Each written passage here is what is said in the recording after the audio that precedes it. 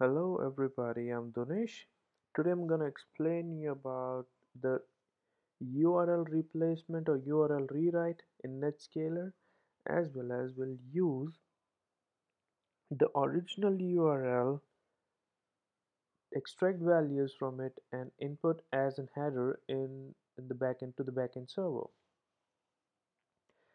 Uh, today here in the notepad is a sample uh, that we are going to try today. So you see it has uh, the the uh, this is the original URL on top. And the first action would be we are rewriting it or replacing it.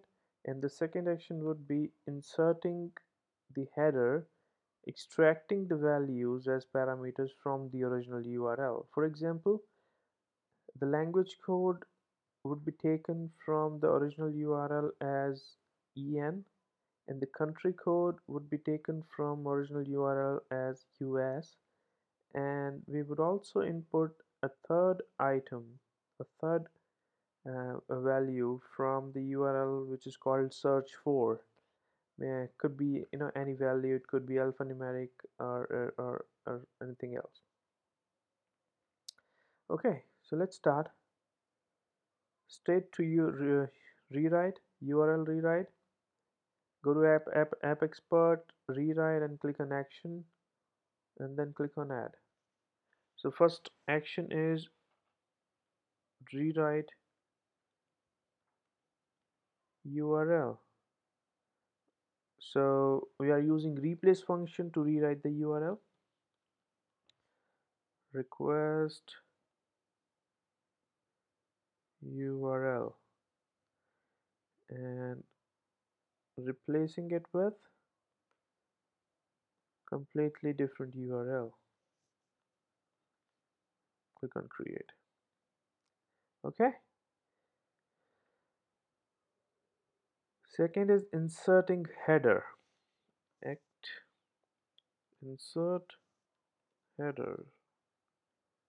Okay. And I'm taking the header name as parameters. You can choose of your own choice of your own uh, as per the requirement.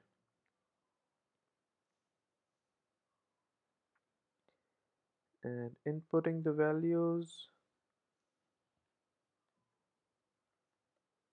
Okay. Let me just correct it. Uh, I was using it for a different function here search for and item. Item. Okay.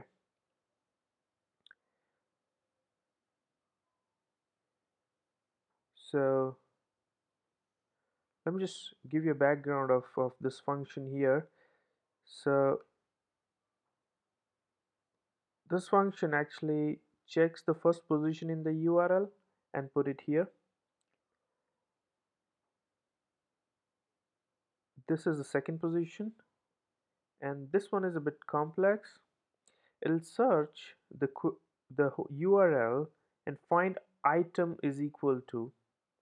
As soon as it finds it after after the characters of the search will input here in the parameter or, in the expression here. Let's click on create. Okay. Just check the bypass safety check and click on create.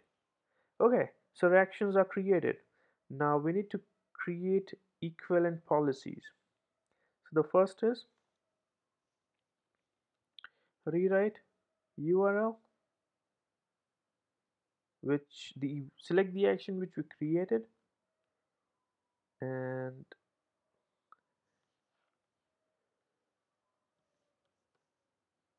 request URL path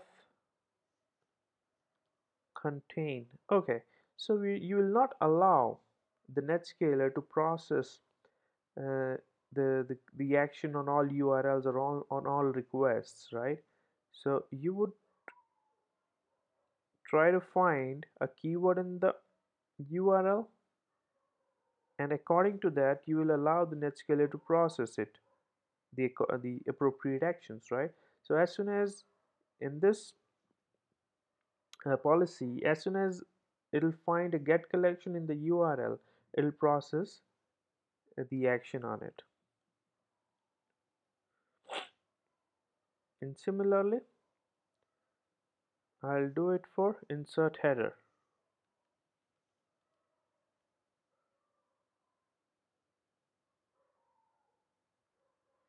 As soon as it'll find get collection it'll process the the action. Okay how to decide which action should perform first? So we'll do we'll, will perform that during the binding of these policies. So go to policies select policy manager.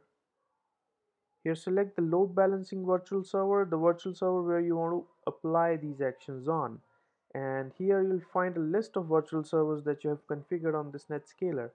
Uh, since I already have one I'll select that click continue.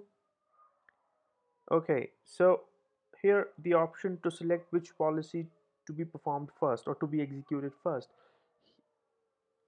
in my scenario I would be using the rewrite function to be executed first.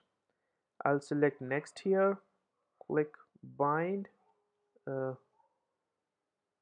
just ignore that uh, the, the uh, license option no problem. And select the second policy to be executed and click on bind. Alright so you're pretty much done here. Just refresh it and file the find the policies are activated. This is pretty much it uh, pretty much. In case you have any question just uh, put it in in the channel here on the comments and I'll try to answer as early as possible. Thank you